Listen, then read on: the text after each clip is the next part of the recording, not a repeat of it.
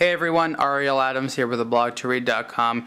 This is the newest Casio Pathfinder watch. This is the PAW2000. This is the version on the resin strap. There's also um, a slightly more fancy version on a titanium strap and it looks a little bit different but same exact watch, same exact movement. Now, the Pathfinder watch has been around for a while. It's known as an ABC watch, and that stands for the altimeter, barometer, and compass, which are three main types of sensors that it has. Actually, the altimeter and the barometer share a pressure sensor, but that doesn't really matter. Um, aside from those three different types of functions, the watch has a ton of other things, and Casio continues to wonderfully evolve and de develop the line. One of the most important things about this one is how thin it is. For a Casio Pathfinder watch, this is extremely thin. Now, I thought the previous version, which was the PAW 1500, which I also reviewed, was thin, but this really beats it. And I, I don't know how they continue to do this. I remember when I was a kid, the Pathfinder watches, they were just thick, they were bulky. I mean, they were awesome, but this one is, is really really beginning to reduce the size in terms of thinness. Uh, it's still it's still a big watch in, in, a, in a good way. Um, you want it to sort of cover up sort of your entire wrist like that because it has so many functions on it. You want to be able to see it well and it's great. So let's talk about a couple of the new things here. Most of the functions re remain the same, which and those are obviously the time, the full perpetual calendar, the several alarms, the timer, the stopwatch. Um, this is also solar powered, meaning there's a bar around here which takes in light, not just solar light, but any light really, which powers the movement. And at the bottom here, it's a little bit hard to see, but there's sort of a always visible power reserve uh, indicator. And it just says low, medium, and high. Um, what the watch does is if it's not in light for too long, it just shuts off. Um, but then if you pick it up again and expose it to light, it'll turn on again, and that's in order to save power. It's also radio controlled by atomic clock. Um, so if you're near one of the, I think this is a quad band watch, uh, which means it's basically going to get the, the signals in the US, Japan,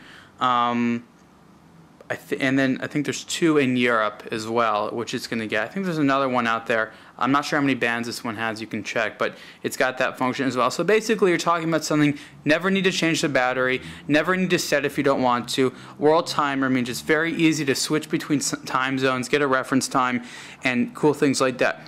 Um, one of the new things here is that there is a sunrise and sunset data um, which is quite cool. And you can adjust the watch really, really accurately. So it's not just a matter of what's the biggest major city you're near, but you can actually change, um, you know, very, very minute uh, types of, uh, you know, like longitude.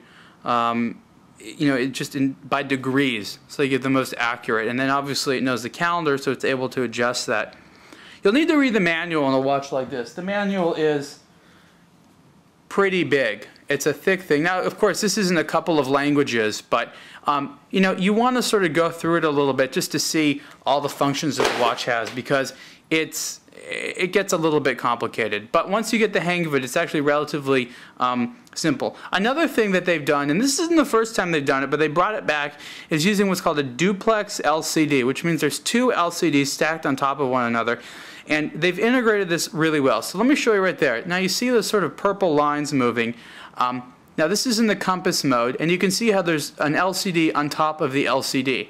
And you can see sort of the compass reading, um, like the needle on there, and then you can see the degrees right there, uh, you know, in the, in the main screen. But what they've also done with the uh, duplex LCD screen is use it as an indicator. So you see that purple line, how it's moving around there?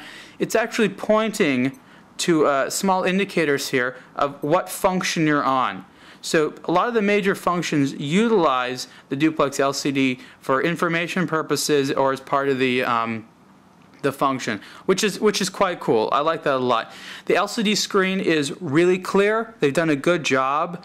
Um, the back uses some of these slightly blue tones. It's very sharp. Logical layout of everything. Um, just a ton of features. I don't know how they get so many features in watches like this. Uh, of course, there's also a backlight. Um, an awesome watch. I think every well-rounded watch collection needs a Pathfinder in it because these are just, just they're just too cool. Retail price for this is about $400. It's a little bit more with the titanium. Um, of course, street price prices are usually less. Um, But overall, very nice. I'm very happy to see that Casio is continuing to evolve these in a great way. Gives you a lot of incentive to keep buying new ones.